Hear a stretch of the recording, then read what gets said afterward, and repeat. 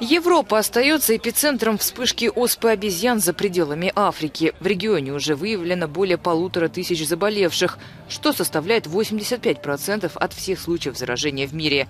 И наступивший в большей части западного мира летний период с традиционными фестивалями и парадами может только усугубить ситуацию, считают ВОЗ. Оспа обезьян – вирусная инфекция, которая в большинстве случаев проявляется в виде сыпи и лихорадки. В основном заболевание передается при тесном контакте воздушно-капельным путем и через зараженные предметы. В северном полушарии наступило лето с традиционным для него туризмом, различными парадами, музыкальными фестивалями и другими массовыми мероприятиями, запланированными по всему региону. Все это способствует взаимодействию молодых, сексуально активных и очень подвижных людей.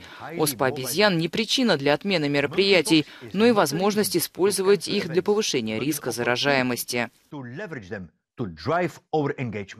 Во избежание дальнейшего распространения заболеваний участникам массовых мероприятий рекомендуется самоизолироваться при появлении симптомов.